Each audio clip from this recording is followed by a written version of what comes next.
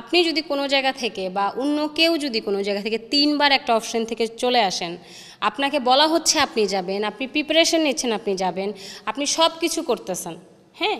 তখন যদি আপনাকে একটা লাস্ট স্টেজে এসে আপনার ইস্যু দেখায়, আপনার কমতি দেখায়, যদি বলা হয় যে তুমি যেতে পারছ না, তখন কি আপনার নেক্সট কোনো কিছুর জন্য ওই ওই প্রোগ্রামটাতে জন্য আপনার ইন্টারেস্ট রাখবে কণ্ঠে ক্রোধ, চোখে কষ্ট, হৃদয়ে আকুতি। ভারোত্তোলনে বাংলাদেশের স্বর্ণকন্যা মাবি আক্তার সীমান্ত। তিন তিনবার অলিম্পিক গেমসে খেলার প্রস্তুতি নিলেও একবারও যেতে পারেননি। London, Rio de Janeiro, Tokyo সব জায়গায় শেষ পর্যন্ত অদৃশ্য কারণে নাম কাটা পড়েছে। হতাশা এমন মাত্রায় গিয়ে হিট করেছে, এখন আর অলিম্পিকে খেলার স্বপ্নই দেখেন না এই অ্যাথলিট। অলিম্পিক অ্যাসোসিয়েশন প্যারিস অলিম্পিকের জন্য চার বছরের একটা তিন বছরের একটা স্কলারশিপ দিয়েছিল।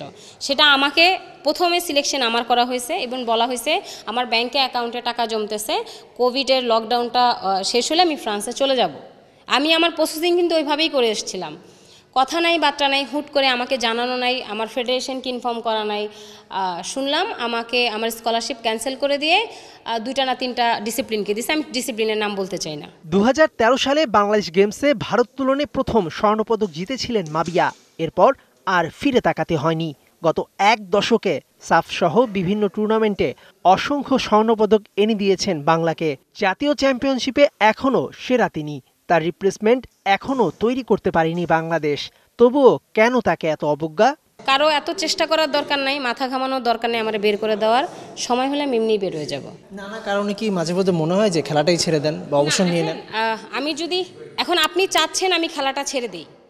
এখন এটা আমি বুঝতে পারছি যে আপনি চাচ্ছেন আমি খেলা ছেড়ে দিই। বার্মিংহাম কমনওয়েলথ গেমসে মাবিয়া খেলেছেন জ্বর নিয়ে। একজন নারী অ্যাথলিট হিসেবে এরকম নানা ধরনের বাধা এড়িয়ে খেলেছেন ক্যারিয়ার জুড়ে।